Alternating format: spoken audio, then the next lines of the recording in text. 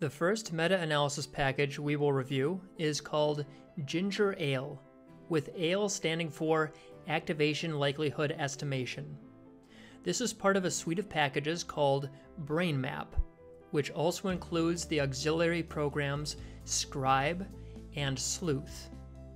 We will use GingerALE to replicate the results of another meta-analysis, and then contrast two meta-analyses to determine where there is overlap or differences between them. And to do that, we first need to briefly review the GingerALE interface. The GingerALE package can be downloaded by going to brainmap.org and choosing the version matching your operating system. In my case, I'll download the one for Macintosh. Click on the file when it has finished downloading, and then click and drag the GingerALE icon into your applications directory, which allows you to open the package by using your Finder to search for GingerALE. Click on the software package result that appears, which will open the Ginger Ale interface. The radio button by default is set to Single Dataset, which is what we will start with. That is, we will test whether the results of different studies overlap. Not all of the studies need to use the exact same contrast. There will be differences in experimental design, as well as number of subjects and number of trials.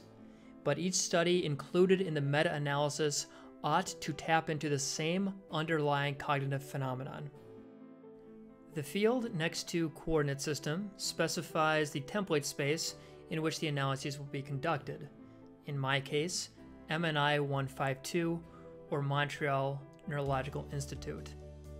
To change the coordinate space, click on GingerALE, then Settings, and select the radio button next to the coordinate space that you want to use. The next field, Mask Size, specifies whether to make the mask bigger or smaller. That is, to make the space of our analyses include more or fewer voxels. It may be the case, for example, that one of the studies included in your meta analysis used a slightly bigger mask than usual, and that this in turn led to a peak activation being located beyond the edge of a more conservative mask used by other studies. Later on, you may find that the foci you want to use in your study fall outside the default, more conservative mask, and you can change that here. All of the other options are mostly self-explanatory, and the defaults should be left as they are. The only other option that you may want to change is the output directory field, which by default points to the home directory. To better organize our results, create a new directory on your desktop called GingerALE Demo, and then select this folder as your output directory. When you are finished, your GingerALE preferences should look like this. Once you have closed the Preferences window, you may see your changes reflected in the main GingerALE interface. For example, if you change the coordinate system. Passing over the foci field for now, you will see the Settings field, with a drop-down menu showing options for different correction methods.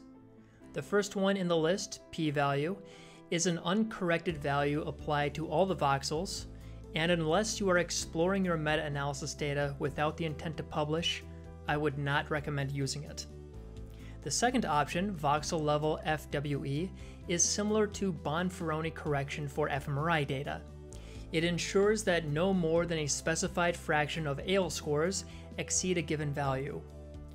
Once you choose this option, you will see additional fields, the one next to voxel level FWE is your alpha level at each voxel, while the threshold permutations specifies how many null datasets will be simulated to build up the null distribution.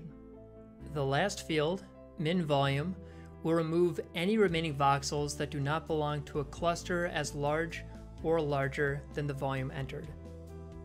Similar to cluster-based thresholding for fMRI data, the last option, cluster level FWE, allows you to specify the cluster forming threshold in the field next to p-value, which should be kept at 0.001. The field next to cluster level FWE, on the other hand, is the alpha threshold, which should be kept at the nominal 0.05 value. As with the previous option of voxel level FWE, the number of threshold permutations determines the amount of null clusters that are created in order to create a null distribution. For the purposes of this tutorial, let's stick with cluster level FWE as our correction method. You can leave the permutation as a default. For most published analyses, permutations of 1000 or more are commonly used. Once you have gathered a list of studies you want to include in your meta-analysis, you will also need to extract the foci, or peaks, for the contrast reported in the papers. There are tools on the BrainMap website designed to automate this task for you, although you can extract the peaks manually if you wish. In any case, the foci need to be formatted in a particular way, and a representative example can be found in the GingerALE User's Manual. If we scroll down, we can see that a typical foci file requires the following fields. 1. A reference space in which all of the coordinates have been reported. Note that if different studies report their coordinates in different spaces, you can convert them to the same space by going back to the GingerALE GUI and then clicking on Tools, Convert Foci, selecting the file you would like to convert, and choosing the appropriate conversion. For example, Talairach to MNI, or the reverse, MNI to Talairach. The second thing you'll need in a foci file is a list of the study's name, followed by the contrast reported in the study whose coordinates you are reporting. Next is the number of subjects in the study, and then a list of coordinates in XYZ format for each focus reported in the study. Also note that the reference space field is listed only once at the beginning of the file, and that this field along with the fields listing the study name and the number of subjects, are preceded by two forward slashes. Each set of coordinates is listed on a separate line, while a carriage return separates each study. Let's use this example file to run a small GingerALE meta-analysis. Either transcribe or copy and paste the values into a text file using a program such as Macintosh's TextEdit. Be sure to remove the rich text formatting by selecting Format, Make Plain Text, or else GingerALE won't be able to read the file. This may take some time if I copy and paste it, for example, to make sure everything is in the format as what you see in this PDF file here. So I'm going to fade out and come back once it's done. Now that I have the file formatted correctly, I'm going to save it as acupuncturefoci.txt in the GingerALE demo directory. Now that you have the materials you need for the meta-analysis, open GingerALE and click File, Open Foci. Select the acupuncture foci file that you created, which is located now in the GingerALE demo directory, and click Open. When you see a window asking you to change the coordinate system, select Change to Talairach. You may have noticed that the coordinate system specified in the foci file was Talairach, and you should use the corresponding template space for the analysis.